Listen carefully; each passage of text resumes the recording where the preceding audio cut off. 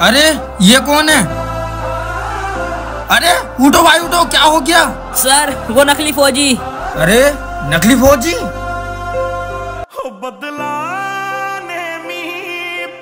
सरदार तुम्हारा काम हो गया है। मैं नकली फौजी बनकर बॉर्डर पे घुस गया और एक दो फौजियों को मैंने मार भी दिया है। क्या? अब समझ में आया वो नकली फौजी क्यों कह रहा था? ओए कौन है तू?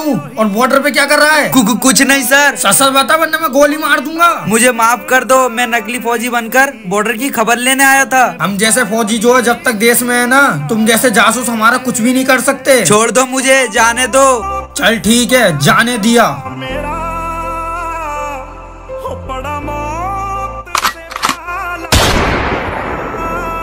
गाइस अगर वीडियो अच्छी लगी हो तो लाइक और सब्सक्राइब दोनों करें।